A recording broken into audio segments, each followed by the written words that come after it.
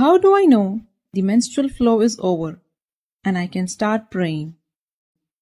Basically, your menstrual flow is over when the blood stops and you see complete dryness. You can test that by placing a piece of cotton or a white piece of cloth and if it comes out absolutely clean, it's over. If some redness, yellowness or brownish discharge shows up, you are not quite yet done. Also, one of the distinguishing signs for the end of menstrual flow is the white discharge. The moment you see the white discharge, vacation's over. Get back to prayers and fasting. And after this white discharge, any secretion, any yellowish discharge, just don't be concerned about it because that is not considered haid or menstrual flow.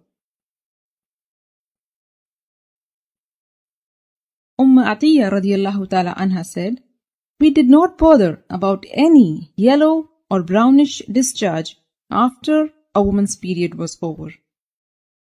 But you should not rush, because the yellowish discharge which immediately follows the bleeding before the white discharge is still part of your menstrual flow.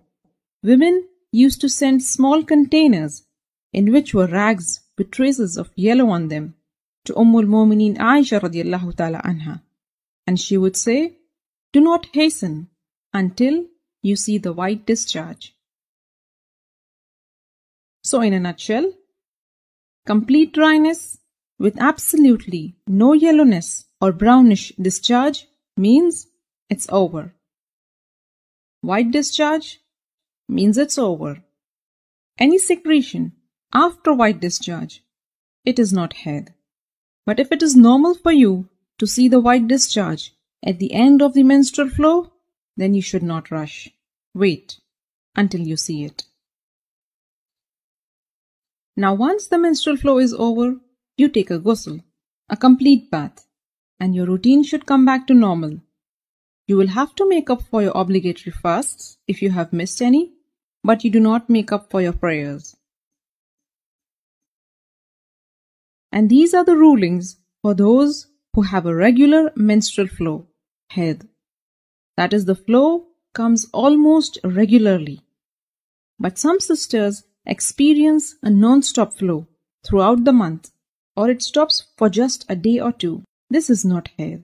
It is called istihada, and the ruling concerning it is completely different from menstruation. I will insha'Allah discuss about this specific condition in one of the later clips.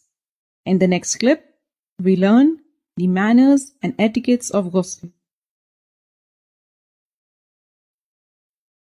Stay connected to the Striving Muslimah blog, muslima.qsep.com dot com.